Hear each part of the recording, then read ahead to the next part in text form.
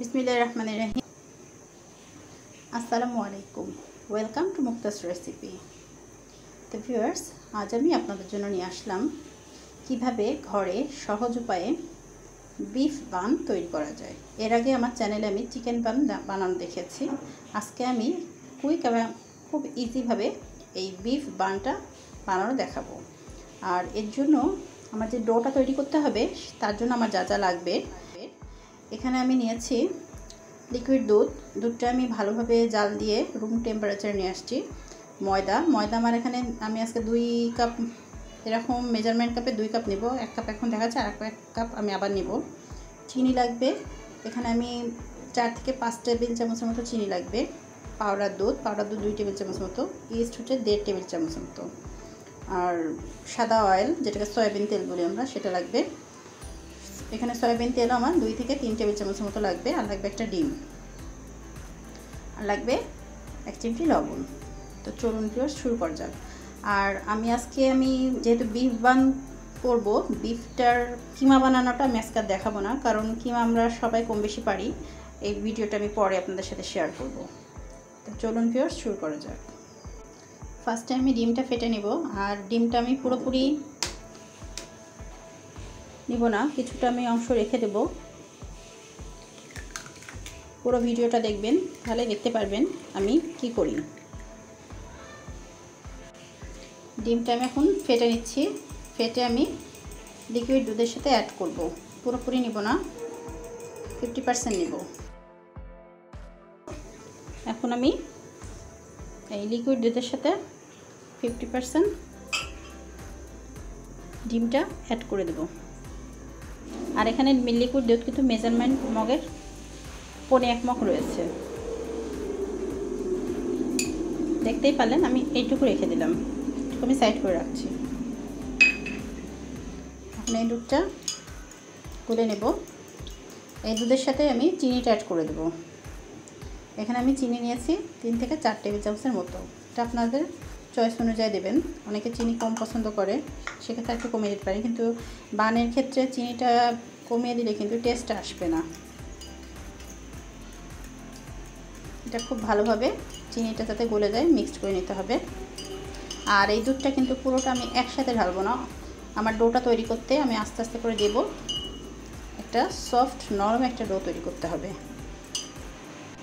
এই তো, এটা আমি এখন একটু সাইডে রাখব। এখন বাকি উপকরণগুলো আমি একটু চেলে নেব। এর জন্য আমি একটা বোল নিয়ে নিলাম। এখানে দুই কাপ ময়দা নিলাম। এখন এই ময়দাটা আমি একটু চেলে নেব। এই তো চেনে নেওয়া কমপ্লিট আমি ময়দার সাথে অ্যাড করছি এক চিমটি লবণ। আমি যে ইস্টটা নিয়েছিলাম, দেড় টেবিল চামচের মতো নিয়েছি, সেই ইস্ট ইস্টটা কিন্তু আমি আর এক সাইডে রাখলাম। পাউডার দুধটা। এটা ওখানে দুই টেবিল চামচের মতো রয়েছে। এটা নিয়ে নিলাম। এখন এই শুকনো উপকরণগুলো একটু মিক্সড করে নেব।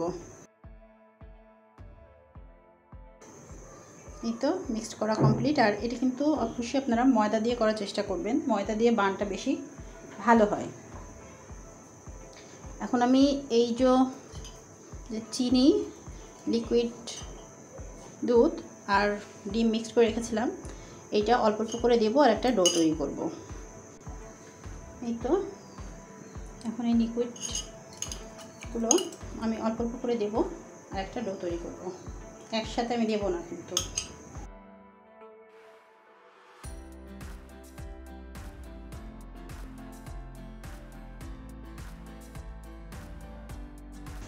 এখন হাত দিয়ে একটু মথে মথে খুব ভালো একটা দৌড় তৈরি করে নিব।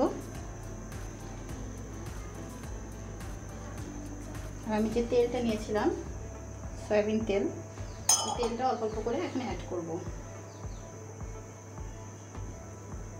একবারে দেব না, অল্প অল্প করে দেব। এই তো একটা একদম সফট একটা ডো তৈরি করা কমপ্লিট এখন লাস্টে আমি এভাবে তেল মেখে এটা রেস্টে রেখে দেবো।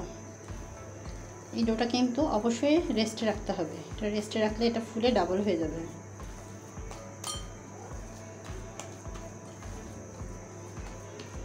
একদমই সুন্দর একটা সফট ডো কিন্তু আমি তৈরি করে ফেলেছি। এখন এভাবে তেল দিয়ে আমি ঢেকে রেখে দেবো। এখন র্যাপিং পেপারটা দিয়ে ঢেকে রেখে দেবো। আপনারা ইচ্ছা হলে অন্য কোনো কাঁচের ঢাকনা দিয়েও বা এমনি ঢাকনা দিয়েও ঢেকে রাখতে পারেন। র্যাপিং পেপারটা দিলে হয় কি, ভিতরে আর বাতাস ঢুকবে না। এটা একটু ভালো হয় আর কি।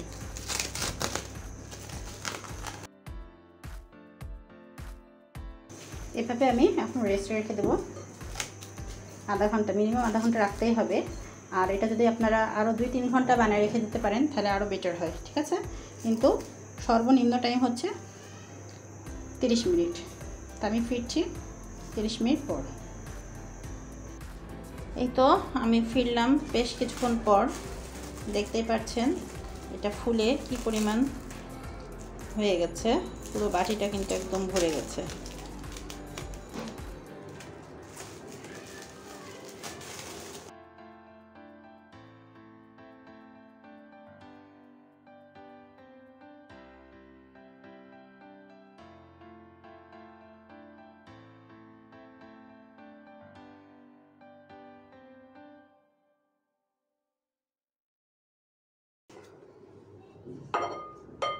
আমি যে পরিমাণ ময়দা নিয়েছি, এখান থেকে টোটাল আটটা বান তৈরি করা যাবে। আপনারা যদি বানগুলো আমার মতো সাইজের করেন। আমি যেহেতু বলেছি আমি বিফ বান করব, এই জন্য আমি বিফের কিমা তৈরি করে নিয়েছি। এই কিমা বানানোটা আপনাদের এখন আর শেয়ার করছি না। আমি অন্য একটা ভিডিওতে শেয়ার করব। আমি এভাবে কিমা বানিয়ে নিয়েছি। এখন আমি এটা, দেখুন, চারটা বান তৈরি করব। বাদ বাকি এই ডোটা আমি তুলে রাখব। আর একদিন করব। এখন আমি চারটা বানাবো।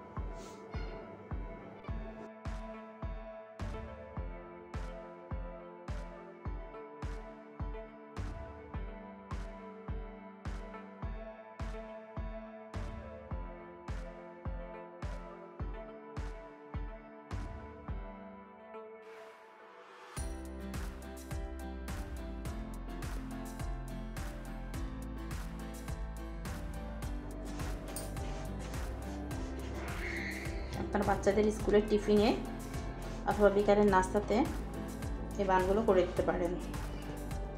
এখন এখন এগুলোর উপর কিছু আমি যে ডিমটা রেখে দিয়েছিলাম, সেই ডিম দিব আর দেব কিছু সাদা তিল। তো চলুন দেওয়া যাক। গ্যাস ওভেনে এরকম একটা অ্যালুমিনিয়ামের হাঁড়ি বসায় নিয়েছি। অ্যালুমিনিয়ামের হাঁড়ি হলে বেশি ভালো হবে। এখন আমি এতে সামান্য অয়েল ব্রাশ করে নেব। আমি এই ডিমটা যে অর্ধেক ডিম রেখে দিয়েছিলাম, সেটা খুব ভালোভাবে আমি এভাবে দিয়ে দিচ্ছে দিয়ে নিয়ে আমি এখন উপর থেকে সাদা তিল দিয়ে দিচ্ছি।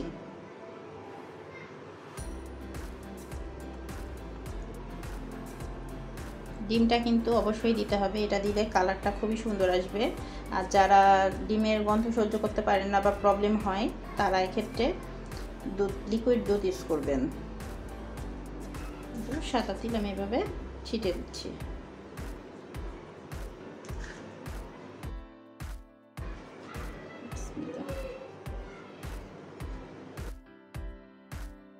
এখন আমি ঢাকনা দিয়ে ঢেকে দেবো। ঢাকনাটাও অ্যালুমিনিয়ামের হতে হবে। তাহলে কিন্তু কালারটা খুব সুন্দর আসবে। এখন আমি একদম মিডিয়াম হিটে লো মিডিয়াম হিটে এটাকে কুক করতে থাকব। গ্যাস ওভেনটা অন করে নিচ্ছি।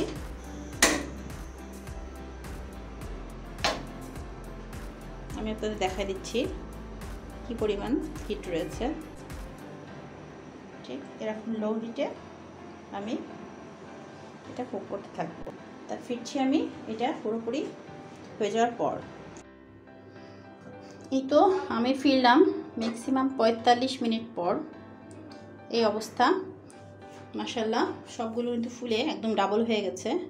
কালারটাও মোটামুটি চলে আসছে। আর গ্যাসের চুলায় তো আর ওভেনের মতো অত সুন্দর কালার হবে না। এটা জাস্ট অনেক সুন্দর হয়েছে। এখন আমি আপনাদেরকে পরিবেশন করে দেখাচ্ছি। তার আগে আমি এর উপর থেকে একটু, আমি এর উপর থেকে একটু বাটার ব্রাশ করে নেব। এখন আপনাদেরকে পরিবেশন করে দেখাচ্ছি।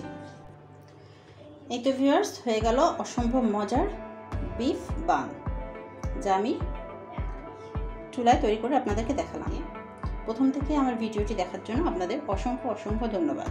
আমার এই ভিডিওটা যদি আপনাদের ভালো লেগে থাকে, তাহলে অবশ্যই একটি লাইক দেবেন এবং যারা আমার এই ভিডিওটা ফেসবুকে দেখবেন, তারা অবশ্যই আমার পেজটিকে লাইক ফলো করে রাখবেন।